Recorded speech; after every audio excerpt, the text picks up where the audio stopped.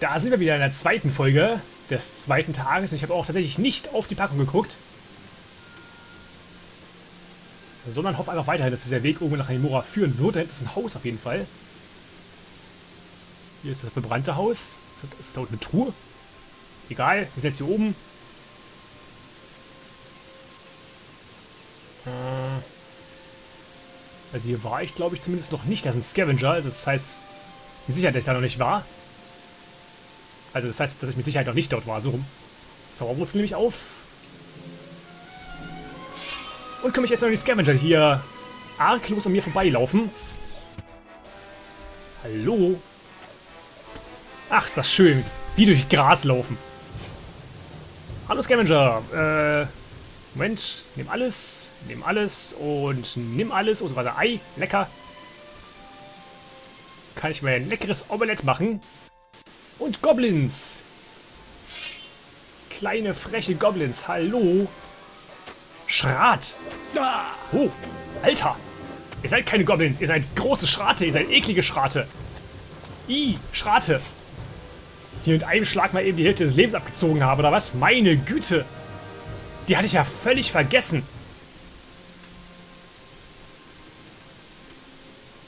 Äh, läuft noch hierher. Und zwar gar nicht langsam. Meine Güte, die halten ja überhaupt gar nicht viel aus, nicht wahr? Was mache ich denn mit den Schraten? Warte mal, du bist ein Einzelner. Vielleicht kannst du ja schaffen, dich so zu besiegen. Oh, du hältst ja abartig viel aus. Oh. Fechten, fechten, fechten, fechten, fechten, fechten, fechten, fechten, fechten. 240 Erfahrung nur für den einen. Wahnsinn. Stachelkeule, was hast du dabei? Nichts hast du dabei. Du hast nicht was dabei. Du hässliches grünes Vieh. Ähm, ich brauche unbedingt was zu essen. Und zwar das da.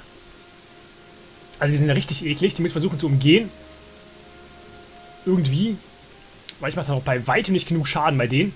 Und ich muss unbedingt endlich mal meine ganzen äh, Fähigkeitenpunkte irgendwie in Stärke oder sowas investieren oder auch in Jagdgeschick, um bessere Bögen und so weiter zu bekommen. Ich habe 40 äh, Lernpunkte. Nächste Stufe ist auch schon wieder in 5000 ungefähr. Oder 4000 irgendwas, ein bisschen mehr.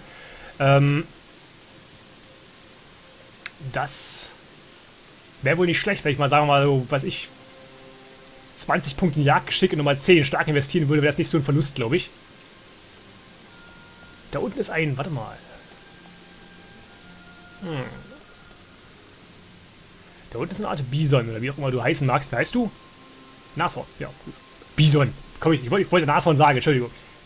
Natürlich ist kein Bison. Mm. Und die sind mir, glaube ich, eher nicht so freundlich gesonnen. Ich will kurz noch was gucken. Und zwar, ähm, Tiere rufen, nein, Tiere zähmen hätte ich sieben Stück. Das anwesende Ziel gelangt unter die Kontrolle des Helden, es mit ihm folgend im Kampf beistehen, wenn es kann. Ich weiß nicht genau, wie stark so ein Bison ist. Aber ich fände es ganz lustig, wenn man kurz mal so ein Bison folgen würde. Einfach mal so aus Spaß. Vielleicht kann das mir ja gegen die Schrate irgendwie weiterhelfen oder so. Äh, neuer Spielstand, aber erstmal muss ich wahrscheinlich gegen die anderen, das andere Bison helfen. Weil wenn ich das eine Bison gezählt habe, wird das andere wahrscheinlich dann auf das, auf das erste wiederum losgehen. So, ähm... Wir haben hier, Moment, war das? Sieben Stück kann ich davon Tier zähmen, so. Die sieben. Ist perfekt. Hallo. Liebes, upsala, liebes Nashorn. Nashorn unter Kontrolle, wie cool. Kommst du mit? Natürlich kommst du mit. Bist in meiner Kontrolle. Hopp.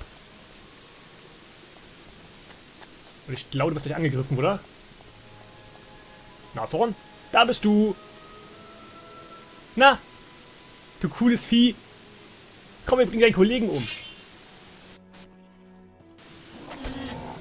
Ja. So.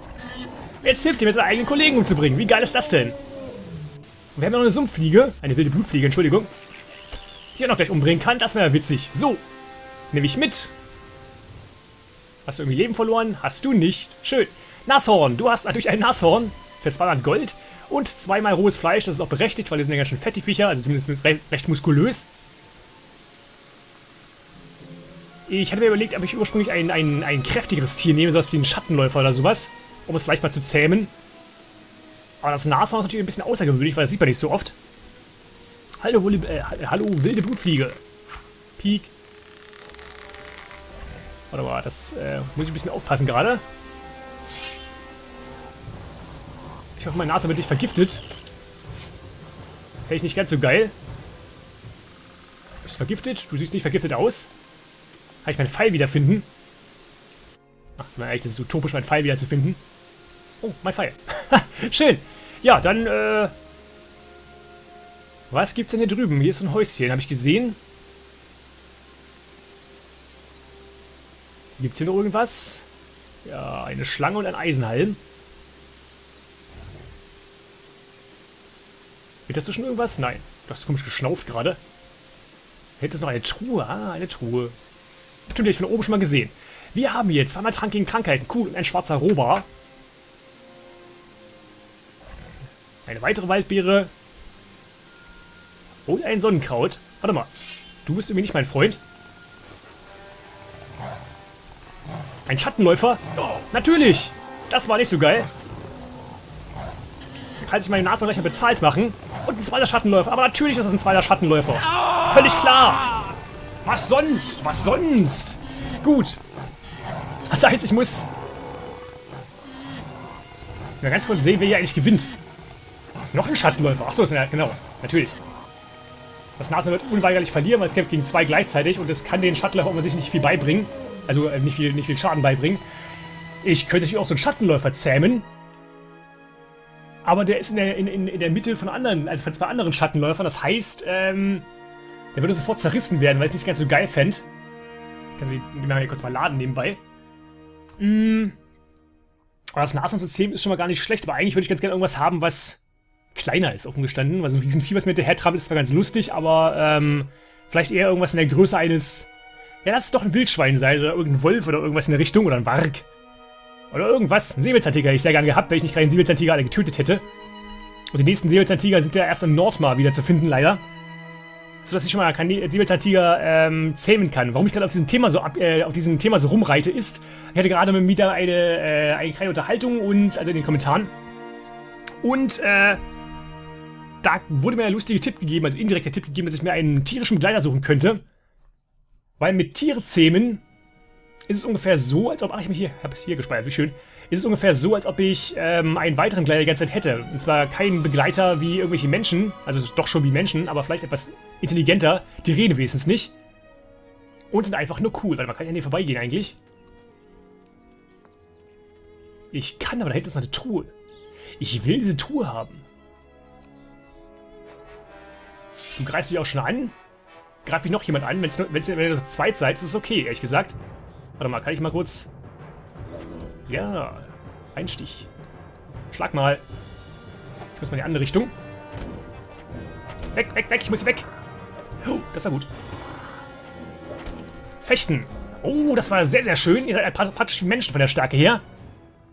Eine Stachelkeule und... Achso, da ist nichts dabei. Aber du hast einen weiteren Schrat da hinten zurückgelassen. Der so kein bisschen aufmerksam ist. Vielleicht kann ich auch wieder stechen. Und zwar jetzt. Mist, doch, getroffen. Gott sei Dank. Mach mal einen Schlag. Ja, mach einen größeren Schlag. Mach mal einen größeren Schlag. Das ist kein größerer Schlag. Das ist auch kein größerer Schlag. Ach, komm, mach ich halt einen Schlag. Ja. Oh. Und wegfechten. Wegfechten, mein Freund. Die Taktik ist zwar ziemlich billig, aber sie funktioniert. Wunderbar. Habe ich diese relativ gefährlichen Kreaturen doch noch besiegen können? Ist hier noch ein Schrat? Nur für den Fall das. Kurz mal Bogen gezückt. Eine wilde Blutfliege ist etwa genauso gefährlich. Äh, wo grast du? Dort. Das heißt, grasen ist gut, die wird nur Fleisch fressen. So, jetzt noch ein Schlag. Und das war's mit dir, du kleine Fliege. So. Die Truhe. Da ist noch eine Truhe. Hier sind überall Truhen. Wie geil. Erstmal die, die aussieht wie eine metallische Truhe. Wir haben ein Schwert. Okay. Einmal Heilung, das ist okay. Ein, äh, viermal Wasser, ein Bisonfell und ein weiteres Stückchen Rohstahl. Toll. Kann ja so viel Rohstahl sammeln, das ist ja unglaublich. Hier hinten noch irgendwas rum? Nein.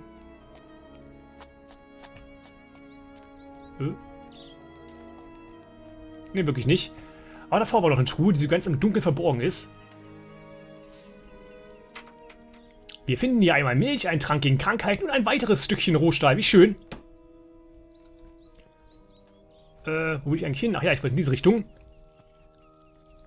Kurz auf die Karte gucken. Das könnte sogar ungefähr hinhauen.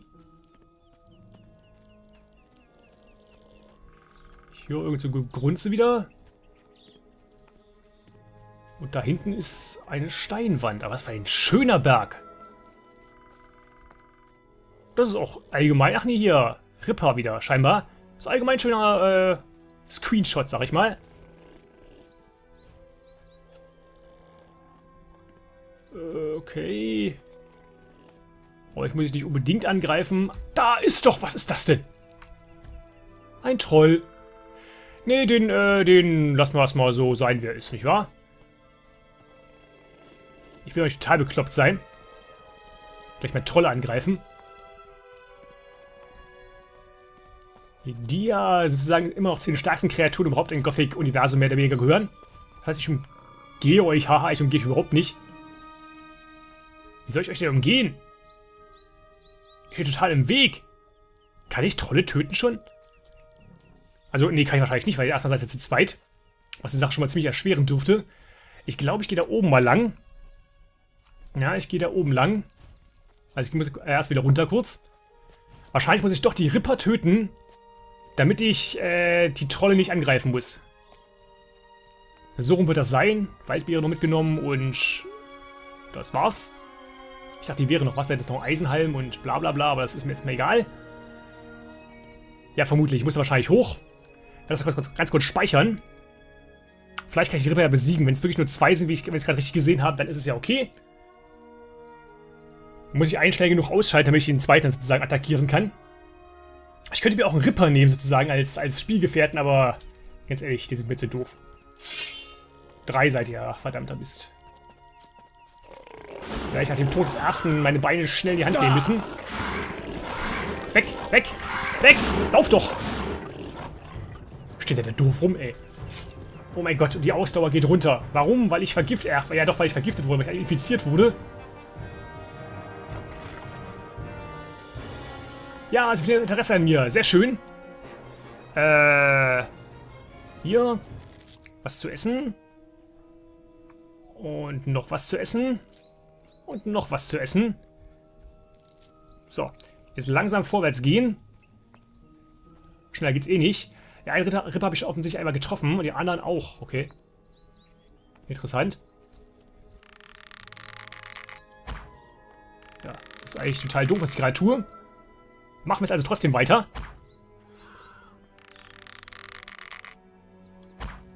Ja. So. Zack und zack und zack. Puh. Denn erst jetzt werde ich natürlich einen Heiltrank nehmen, der mich, gegen die, der mich von der Krankheit kuriert, und zwar diesen hier. Schluck. Oh, geheilt. Sehr schön. Den ganzen Kram nehme ich gerne mit, den ganzen Kram nehme ich gerne mit und auch den Kram von euch da oben nehme ich gerne mit, oder von dir da oben. Von der königlichen Majestät des Rippers. Warte mal. Feuernesseln nehme ich natürlich auch gerne mit. Davon gab es auch in Gothic 2 und so in Gothic 1 viel mehr, viel mehr Feuernesseln. Na komm, gib mir deinen Kram. Dankeschön. Skelette, gibt es noch Waffen? Ja, es gibt Messer und rostige Schwerter. Schön. Total super. Kann ich beim nächsten Mal also wieder 20 rostige Schwerter verkaufen an irgendjemanden, der es nicht haben will. Sonnenkraut. So, hier waren irgendwelche Trolle, die ich nicht unbedingt angehen muss. Da oben sind wieder Snapper, das ist okay. Hier ist schon einer. Hallo? Na komm. Kommt gleich ein weiterer noch angerannt. Von dort nicht, von dort nicht. Ja, dann esse ich noch ein bisschen was. Ich habe nur noch fünf gebratenes Fleisch. Das ist ja, äh, skandalös. Und bevor du hier einen Koller kriegst, äh, werde ich kurz mal looten. Und den zweiten Snapper angreifen. Hinter ist irgendein Tor. Das ist ja interessant. Noch einer? Oben, unten, links, rechts. Nö, Musik hört doch auf. Ich glaube, ich habe den Mura schon wieder verfehlt. Obwohl, nee. Da ist ein Tor. Und ich bin in Richtung Süden unterwegs. Könnte also doch durchaus richtig sein. Hier sind noch irgendwelche Pflanzen beim Troll. Das heißt, ich werde den Troll immer noch nicht angehen. Das ist gar kein... Drei Stück auf einmal. Da speichere ich lieber nochmal ab. Das ist gar kein Tor gewesen. Das ist einfach nur ein Zelt gewesen, das von vorne aussah wie ein Tor. Ja. Von mir aus kann ich jetzt speichern, habe ich kein Problem mit. Ja, so in etwa, genau. Ich könnte euch natürlich auch erstmal umgehen. Mm, mm, mm, mm, das will ich nicht, weil ich will in das Zelt reingucken. Mana-Pflänzchen. Wenn ich von euch schnell töten kann. Zum Beispiel dich.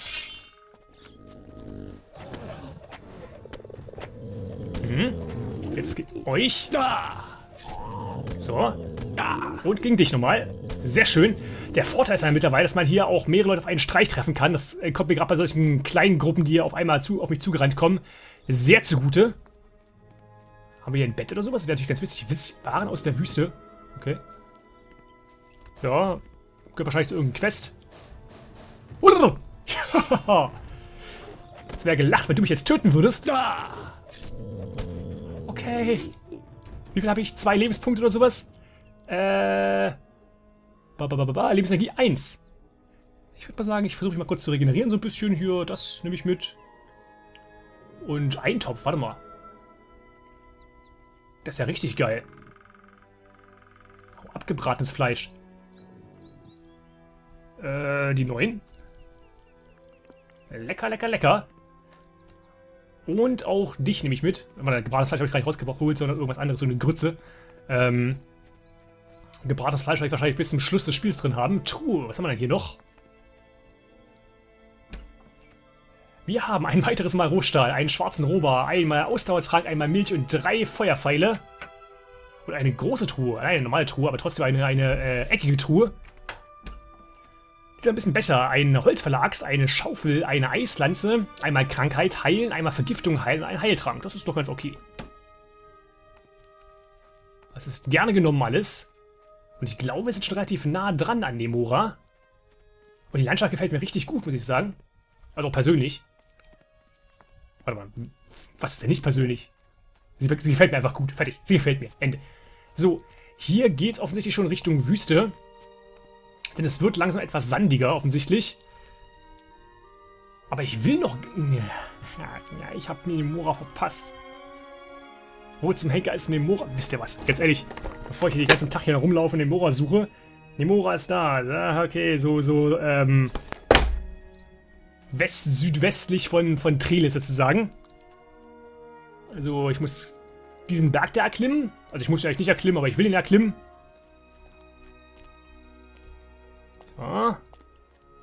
Komm mal hoch. Bisschen Bunny-Hopping hier. Hopp. Hopp.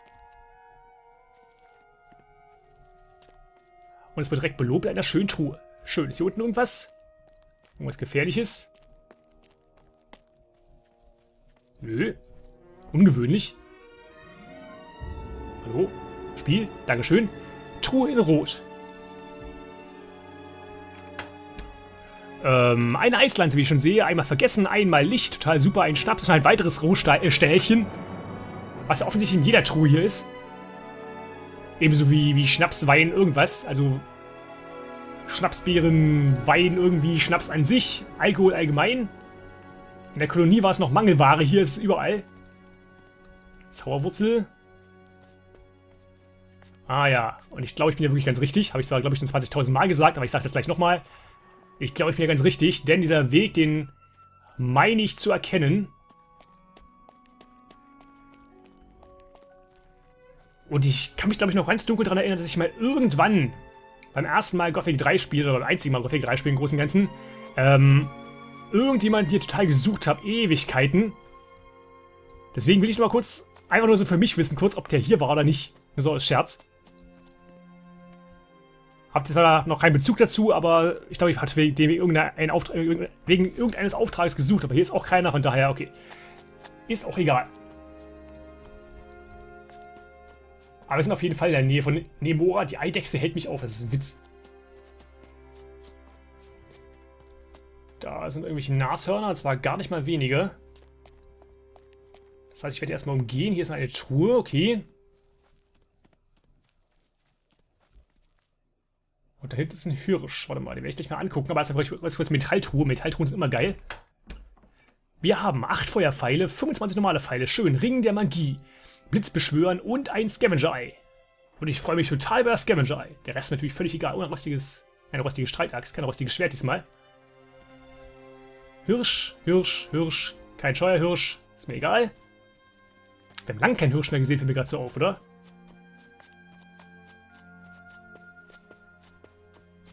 Warte mal, wo ist Nemora? Hier könnte Nemora sein. Hier sind menschliche Bauten. Hier ist Nemora. Äh, sagt euch einfach mal so voraus. Und hier ist ein riesiges Skelett. Möglicherweise von einem Drachen. Und ganz ehrlich, das ist unglaublich dunkel hier. Also nicht nur für, für euch, sondern auch für mich.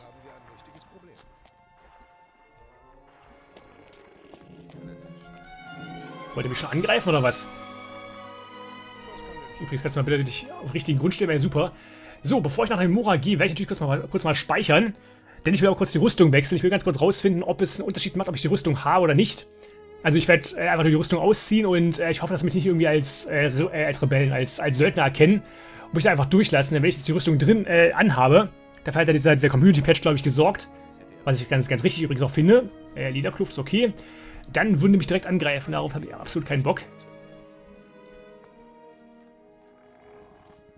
Ich weiß, Mann. Randall und Spurenleser. Pass auf, wo du hinläufst. Die Gegend da draußen ist gefährlich. Ich komme von der Gegend da draußen. Äh, was genau ist da draußen so gefährlich? Was genau ist da draußen so gefährlich? Der Norden von Nemora ist bevölkert von Urviechern, Kollege. Am schlimmsten sind diese großen, schnaubenden Exemplare. Komm ihnen nicht zu nahe, sonst fressen sie dich mit Haut und Haaren. Ich bin zwar ein erfahrener Jäger, aber allein würde ich mir die Biester auch nicht zutrauen. Hm, vielleicht kannst du mir irgendwas über das Jagen beibringen. Ich werde die Schnauben im Urviecher töten. Ich werde die Schnauben... Sag ich auch mal ganz lax. Na, da hast du dir ja einiges vorgenommen. Ja, vermutlich. Hier, nimm diese Heiltränke. Oh, cool.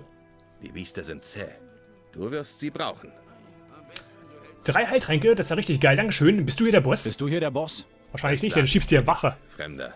Dafür kenne ich dich noch zu wenig. Ah, ja, gut. Stimmt, hier war das so, hier musste man irgendwie das Vertrauen der Leute gewinnen, damit einem überhaupt gesagt wird, wer der Boss ist. Das ist ganz witzig. Ich habe das Spiel irgendwie nie so richtig gewonnen dabei. Und ich plane es in diesem Let's Play euch mal rauszufinden, auf äh, normalem Weg, und ich denke, die Schleife mir gerade so auf, wer denn hier der Boss ist. Kennt ihr von euch auch diese wunderbare alte Serie, wer ist hier der Boss? Die ich damals total lustig fand und mittlerweile eigentlich total schlecht. Hier sind Truhen und Betten, das ist ja ganz schön. Ist noch relativ hell, ist okay. Russell. Willkommen in Emura, Fremder. So einen kräftigen Mann wie dich können wir gut gebrauchen. Klar, was soll ich tun? Wie kann ich helfen? Wie kann ich helfen? Du könntest deine Kampfkraft für uns einsetzen. Dort, wo der Pass zur Wüste beginnt, hat sich kürzlich eine Karawane der Assassinen niedergelassen.